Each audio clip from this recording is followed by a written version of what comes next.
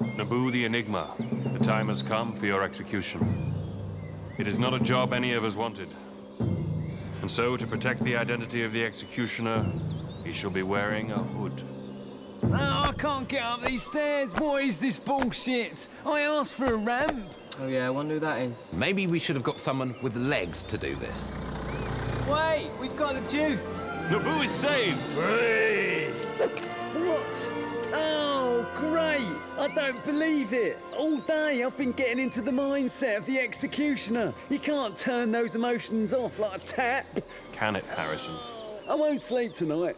I'll be wriggling all over the place. Mrs. Harrison will be furious. This is, my friends, an outrage. Let us celebrate in our custom.